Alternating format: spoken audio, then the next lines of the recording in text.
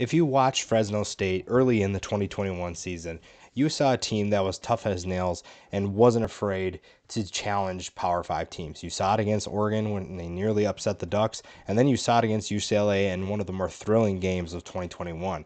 The 10 guys that we talk about today are a big reason why many predict them to win the Mountain West but it's also a reason why this is going to be an exciting team, even with some of the big losses that they have on offense and defense. Now, they do lose Kalen DeBoer to Washington. The head coach leaves, nearly took his quarterback with him, but they have a coach coming back in Jeff Tedford that is very familiar with the program, returns to campus to make a triumphant return, hopefully. And he's got the talent that hopefully brings them to the top of his conference and bring home, brings home a title and maybe even a New Year's Six bowl berth. Jake Haener is getting a lot of love at the next level. He's getting some NFL attention after a season in which he threw for over 4,000 yards and 33 touchdowns. Jake Haener is a gamer, and he does have some talent that will really work for him at the next level, but he's just a gamer. The guy competes and he's one of the best competitors in college football. If you look, you know, case in point was the UCLA game.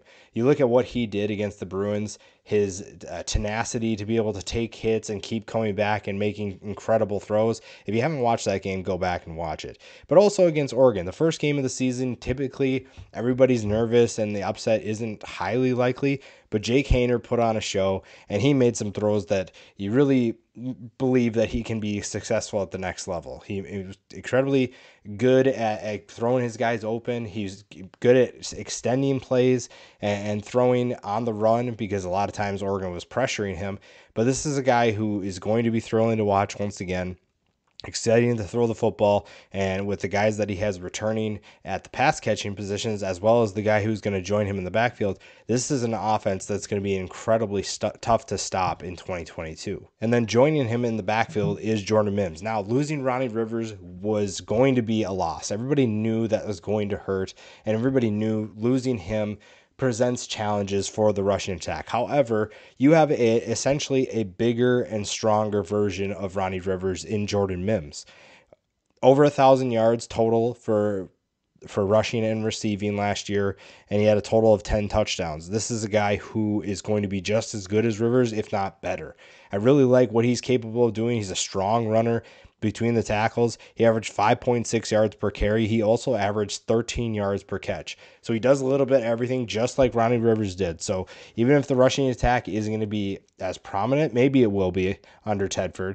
But if it's not going to be, then you can still utilize him as a pass catcher. And the offense doesn't skip a beat because he returns uh, and he's going to be, like I said, just as good, if not better, than his predecessor. The defensive line took a big hit, and we expected that with the number of seniors that Fresno State had on their team. But David Perales is back, 13 and a half tackles and seven sacks. It was kind of hard to stand out, especially with Arron Mosby just wrecking everybody. But David Perales had a productive year, and it's going to be fun to see what he can do Eh, as as a senior this year. This is a defense with still a ton of talent. The defensive line took probably the biggest hit of everybody. So they need to find some talent, but a, a veteran like Perales is going to get them up to speed pretty quick.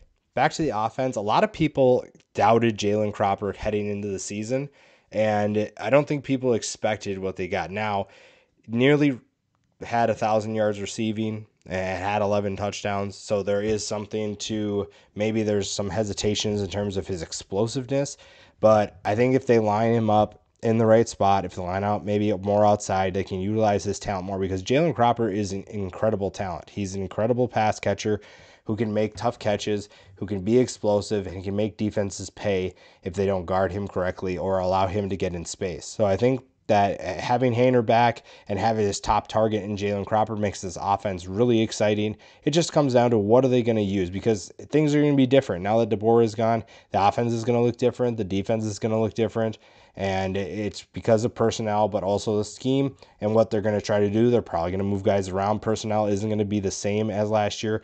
Just from strictly a number standpoint, the actual people playing the positions, but also the guys returning, where are they going to line up? And I, am really excited to see how they use Cropper and how they make him even better than he was last year. Back to defense, Evan Williams is one of the best safeties in college football. If you haven't watched him, I highly recommend it. Had 90 tackles, four and a half tackles for loss, four passes defended, three interceptions. He is a leader of the defense, does a little bit of everything. And one of the biggest things is he's not afraid to get his get his nose dirty. He is not afraid to step up, charge downhill, and make a play. And you saw that in the Oregon game plenty of times. You saw him go downhill and make plays to stop a run, either from you know near the backfield, in the backfield, or more importantly, stopping it at the second level if the linebackers weren't there. So I'm really excited to watch him again. He's going to be a fun player uh, and a guy that you can use all around the field that gives you some versatility, especially with the defensive backs that they have returning. There's a lot of experience, so that allows you to do a little bit different things than maybe a new uh, a defense that doesn't have as experienced players, and that's really exciting if you're a Bulldogs fan. Maybe a more explosive option than Jalen Cropper is Josh Kelly, a guy who averaged 15 yards per catch does return as well. Again, another guy who can make those catches in traffic. He can make big plays and someone that you definitely need to keep an eye on in 2022. Everything starts with obviously with Jake Haener, but the guys returning around him makes this offense really exciting. It's the passing attack is going to be lethal. Jordan Mims is going to be solid as a runner.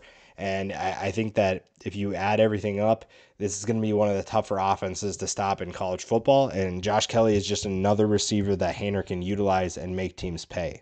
Linebacker Levelle Bailey wasn't the leader of the defense last year, but he returns as a veteran and is going to be a leader after a year with you know 56 tackles, eight and a half tackles for loss, and did a little bit in the passing game too. Six passes defended, an interception, also had three sacks he, he's a guy who is maybe not the biggest linebacker.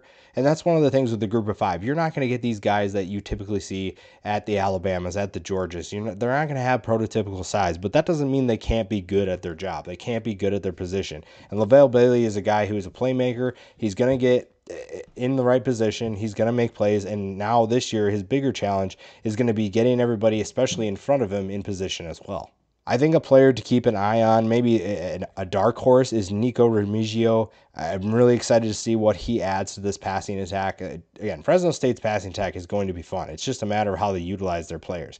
In 2019 at Cal, he had 513 yards receiving or three touchdowns. And I think with everybody focusing on Jalen Cropper and Josh Kelly, a guy like him can really step up and stand out. We talked about the secondary before, and there's a couple more guys that we're going to talk about. Elijah Gates had a solid year last year, and you know this the Mountain West is a good conference, and there's some talented wide receivers that they're going to face, and especially with the the non-conference play that they're going to have this year, the non-conference schedule they'll face. This is a team that's going to be tested in the secondary, and a guy like Elijah Gates can be, a, a, maybe not, you know, he could be a lockdown corner for them, and that's huge because they're going to use Evan Williams all around the field. Like I said, the experience they have returning allows them some versatility in their scheme. It gives them some depth at positions, and a guy like Elijah Gates is going to be a huge playmaker for them. And finally, joining Williams in the secondary on the back end is LJ Early, another player that can do a little bit of everything. Maybe not to the level of Evan Williams. He's probably going to be the guy that plays more deep, but I really like, again, I just like this group. This is a good secondary for a good team that is going to have big aspirations in 2022. I think a New Year's Six bowl game is the goal. I think it has to be, even with some of the guys that they lose. Now, yeah, there's some concerns on the line, but you have plenty of talent coming in, and it's not like the coaching is going to take a step back either. There's there's a good coaching staff in place still. You have an elite quarterback, you have an elite running back, and you have a great group of wide receivers that are going to make life miserable for the teams that they face. So big things coming for Fresno State, something that T- the Fresno State Bulldogs fan base should be very excited about. And 2022, I think, has a lot of good things in store for this team.